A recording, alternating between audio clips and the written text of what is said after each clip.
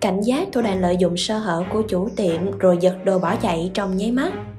Mọi người cần cảnh giác với các thủ đoạn lừa đảo, trộm cắp, cướp giật, chiếm đoạt tài sản, nhất là trong lúc mua bán bận rộn. Một vụ trộm ngang nhiên khiến chủ tạp hóa trở tay không kịp, kẻ gian ngày càng liều lĩnh nên mọi người buôn bán chú ý. Vụ việc sau xảy ra tại thành phố Cần Thơ. Theo đoạn clip, camera an ninh cho thấy một nữ quái trùng kính vào mua đồ.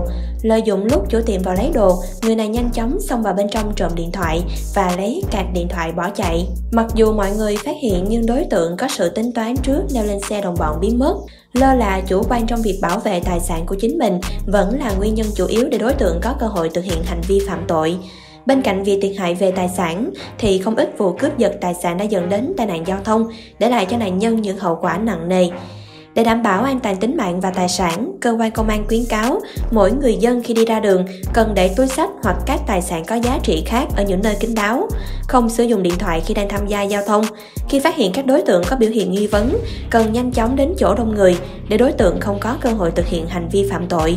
Khi bị đối tượng cướp giật tài sản, các bạn nghĩ sao về tình huống trên? Hãy để lại bình luận ngay bên dưới video và nhấn nút đăng ký theo dõi kênh Sài Gòn TV để không bỏ lỡ những tin tức mới nhất xung quanh cuộc sống của chúng ta nhé. Gửi ngay tin nóng cho Sài Gòn TV qua hotline 0909 660 550 để có cơ hội gia tăng thu nhập nha.